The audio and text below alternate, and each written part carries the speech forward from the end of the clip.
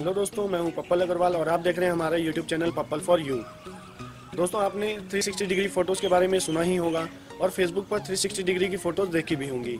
जैसे किसी एक ही इमेज में उसके चारों साइड का एरिया कैप्चर किया हुआ होता है। आप उसे ऊपर नीचे करके, दाएँ बाएँ करके उसके चारों ओर देख सकते हैं। तो दोस्तों, आज मैं आपको यही बताऊँगा कि आप इस टाइप की फ़ोटो कैसे क्लिक कर सकते हैं और कैसे उन्हें आप अपने दोस्तों के साथ फेसबुक पर या व्हाट्सएप पर शेयर कर सकते हैं। लेकिन उससे पहले दोस्तों, अगर आपने अभी तक मेरे इस चैनल को सब्सक्राइब नहीं किया है तो प्लीज़ मेरे इस चैनल को सब्सक्राइब कर लीजिए और इसी तरह की नई नई चीज़ें सीखते रहिए। तो चलिए शुरू करते हैं।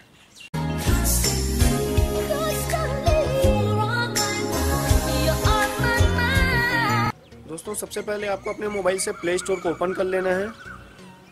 तो चलिए प्ले स्टोर ओपन कर लेते हैं।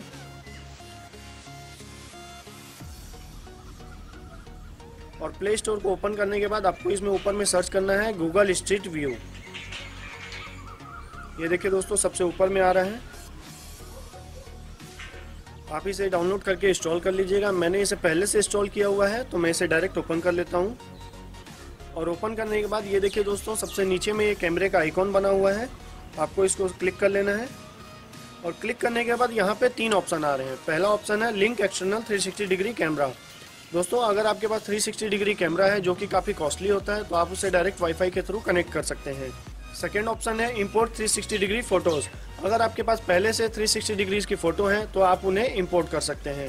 थर्ड है कैमरा अगर आपको नई फ़ोटोज़ क्लिक करनी हो तो चलिए हम कैमरे पे क्लिक कर देते हैं। और इसके बाद दोस्तों, ये देखिए, ये जो येलो कलर का मार्क आ रहा है, इसके ऊपर आपको अपने कैमरे को सेट करना है। हर जगह ये डॉट आते जाएगा। आपको हर जगह की फ़ोटोज़ क्लिक कर लेनी है। तो चलिए, इसमें थोड़ा सा टाइम लगेगा। मैं इसे आपको फास्ट फॉरवर्ड करके दिखा देता हूँ।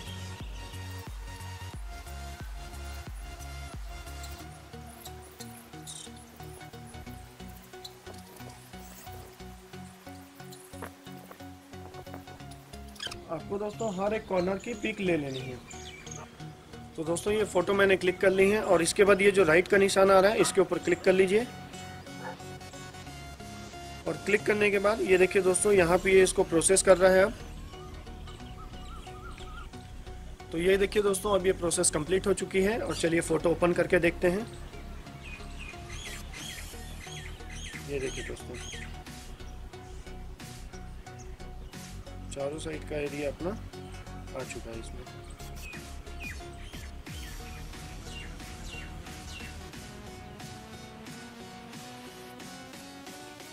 तो दोस्तों, ये तो हो गई फ़ोटो कैप्चर अब अगर आप इसे चाहें तो अपने दोस्तों के साथ शेयर भी कर सकते हैं।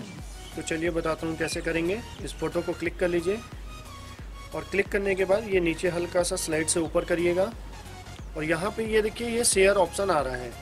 आपको शेयर पे क्लिक करना है और शेयर प्राइवेटली पे क्लिक कर देना है। और इसके बाद ये देखिए, यहाँ पे सारे ऐप्स के नाम आ जा रहे हैं। आप जिसमें भी शेयर करना चाहें, आप उसके साथ शेयर कर सकते हैं। तो चलिए मैं व्हाट्सएप पे किसी को शेयर करके देखता हूँ। इसमें पप्पल अग्रवाल को सेंड कर रहा हूँ। और ये देखिए, ये जो फ़ोटोज़ हैं, ये पूरे एड्रेस के साथ इसमें शेयर हो जाएगी।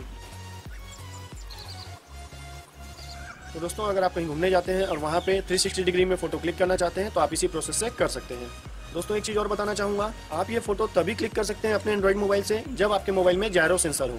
अगर आपके मोबाइल में जायरो सेंसर नहीं होगा तो आप ये फ़ोटोज़ क्लिक नहीं कर पाएँगे। दोस्तों, अगर आपको ये वीडियो पसंद आई हो तो प्लीज़ इस वीडियो को लाइक करें कॉमेंट करें शेयर करें और प्लीज़ मेरे इस चैनल को सब्सक्राइब ज़रूर करें। आज की वीडियो में इतना ही। मिलते हैं नेक्स्ट वीडियो में कुछ और टेक्निकल इन्फॉर्मेशन के साथ। तब तक के लिए गुड बाय टेक केयर